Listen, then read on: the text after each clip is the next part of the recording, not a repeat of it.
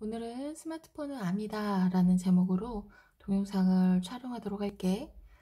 어, 서서히 번지는 암.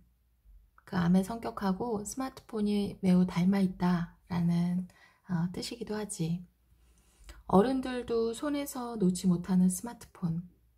과연 어린이인, 어린이나 아이들이 어, 잘 조절할 수 있을까? 이런 생각을 많이 했거든.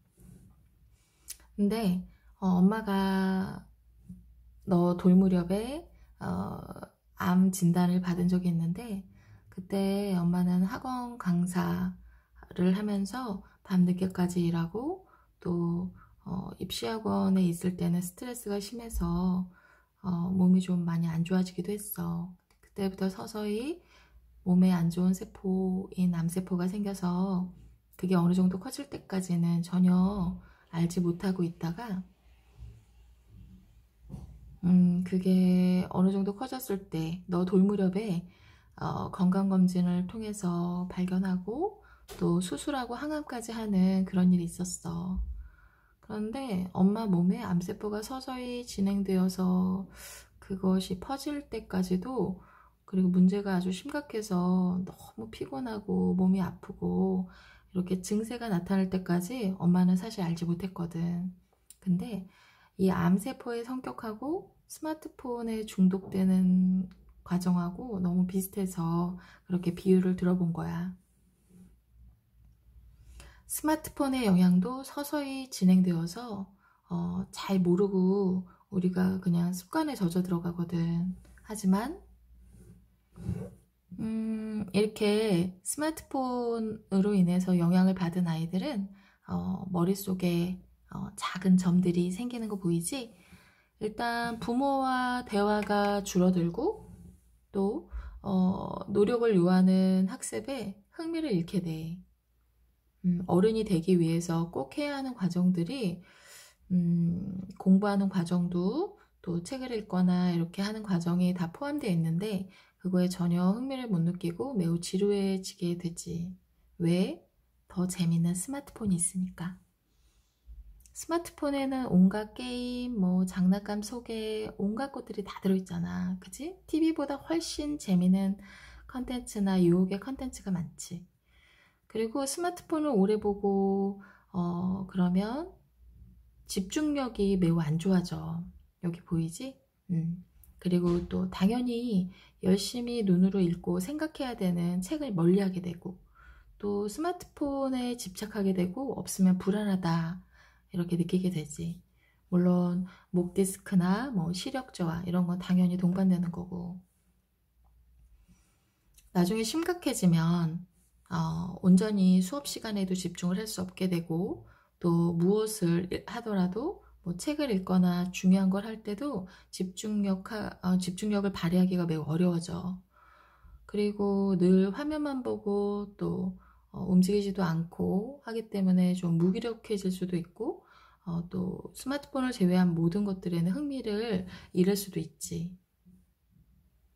스마트폰 중독과 게임 중독도 치료하는데 너무 많은 시간과 노력을 필요로 해. 음, 이거는 암에 걸리는 것과 정말 흡사한 것 같아. 그러니까 스스로 조절하는 능력이나 분별력이 생길 때까지 기다렸다가 어, 그것을 소유하는 게 현명하다라는 얘기를 엄마는 꼭 해주고 싶고 어른들도 스마트폰이 어, 많은 사람들이 갖게 되는 걸 보편화라고 하거든. 보편화되자 책 읽는 시간, 독서량과 생각하는 시간이 아주 많이 줄어들었어.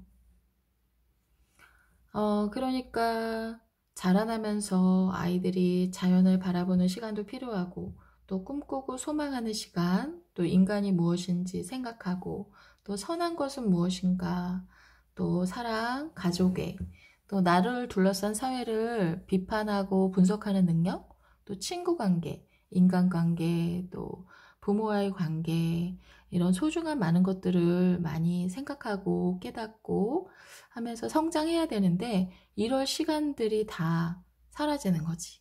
왜? 더 유혹이 많은 재밌는 스마트폰이나 게임이 있으니까. 음, 그래서 그 아이는 당연히 자라나면서 필요한 어, 끈기와 투지, 또 정서적 안정, 또 깊은 사고를 하는 능력, 따뜻한 공감 능력이나 또 기발한 상상력, 놀라운 창의력, 또 통찰력이나 꿈과 비전, 미래를 보는 눈 이런 것들을 어른이 될 때 어, 서서히 자라나면서 꼭 길러야 되는 어, 성품이나 성격들인데 이런 것들을 충분하게 어, 성장시킬 수 있는 시간 자체를 다 스마트폰에 빼앗기고 말아. 음, 하지만 스마트폰을 좀 멀리하고 또 미디어에 대해서 분별하면서 접한 아이는 어, 건강하고 행복한 아이로 자라겠지. 그래서 엄마는 너가 건강하고 행복한 아이가 되었으면 하는 바람이 있어서 또 어, 깊은 생각을 하고 또 따뜻한 공감 능력, 기발한 상상력, 놀라운 창의력, 정서적 안정, 이런 통찰력, 꿈과 비전을 어, 충분하게 생각하고 또 누리는 시간들이 필요하다고 생각해서 스마트폰을 멀리 했으면 하는 거야.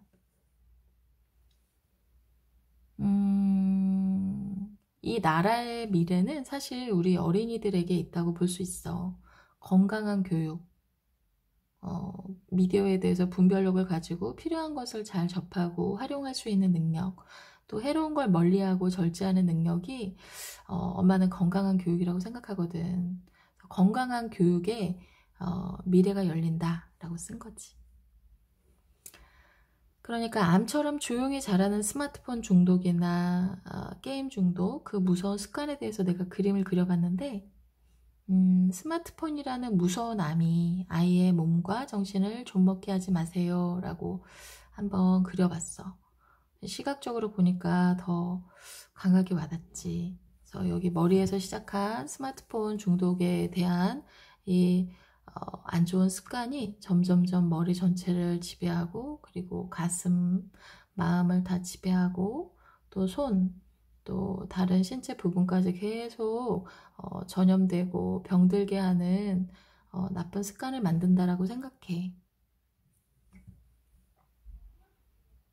분별력과 절제력이 미성숙한 아직 잘 길러지지 않은 아이에게 스마트폰은 전신에 번질 수 있는 무서운 암이 될 수도 있어. 그럼 이 아이의 미래는 어, 활짝 열리기가 어려운 거지. 이걸 치료하는데 너무 많은 시간이 드니까. 그래서 엄마는 너가 어, 20살이 될 때까지는 어, 스마트폰을 사용하지 않고 필요할 때만 어, 부모의 휴대폰을 빌리거나 또 인터넷 검색을 통해서 어, 절제하면서 미디어를 좀 접했으면 하는 생각이 있지. 그리고 되도록이면 책을 읽다 모르는 것들이 나와도 어, 사전이나 책을 통해서 모르는 걸 알아가는 과정을 겪으면 좋겠다. 그렇게 어, 노력과 정성을 들여서 배운 것들은 보다 기억에 오래 남고 마음에도 오래 새겨지거든. 건강하게 자라기 위해서 스마트폰을 멀리 하면 좋겠다. 이게 엄마의 생각이야.